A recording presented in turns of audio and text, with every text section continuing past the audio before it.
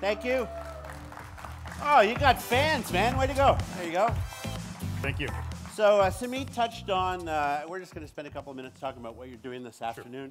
Uh, the kind of three pillars of the uh, employee first, user experience, sure. platform, and security. So maybe just put that in context for everyone for your sure. workshop. So um, a lot of what we're focused on at VMware is really a, a, digital transformation, which most CIOs recognize as one of their top priorities over the next couple of years, along with cloud computing and, and investments in security.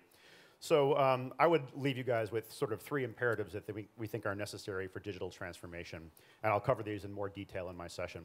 Uh, the first imperative is to uh, put employees first in everything that you do. And um, I'll paraphrase a quote by Richard Branson that I think is really, um, really telling about the importance of this. Um, we spent a lot of time talking about customer first and customer centric organizations. Um, Branson's idea is that if your employees work for a company that they love the brand, they love the company, and they have the tools to do their job effectively, they will pay dividends on how they take care of your customers more than anything else you could possibly do around customer centricity.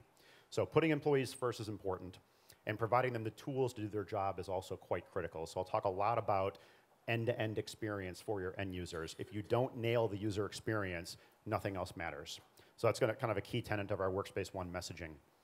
The second piece, which Sumit kind of talked about, is we truly believe that in order to achieve the IT outcomes that you want, you have to treat this stuff as a platform.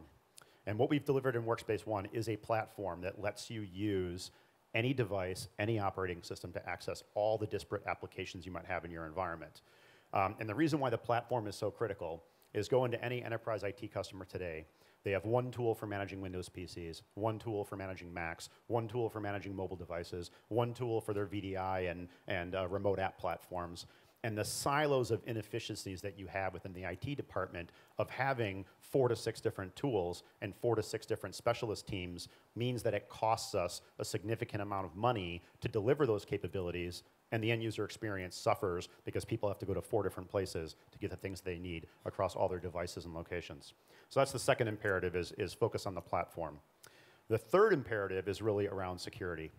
Um, I think it shouldn't be a shock to anyone out there how important security is to everything that we do. Um, it, it is one of the top spend categories for every CIO, and it has been for the last five years. And um, the reality is in the security space is that the attackers are winning, the, the defenders are struggling. Um, there are a number of things that we can do to improve that overall around things like machine learning and AI.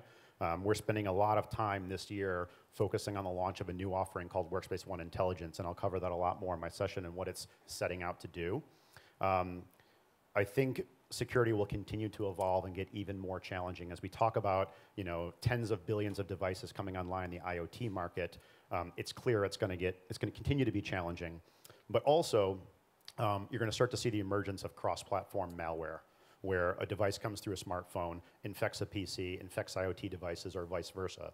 So you really have to think about security in a cohesive manner that cuts across all devices and users. So that's kind of our three main imperatives. So I hope you join me at the workshop to go deeper into these topics.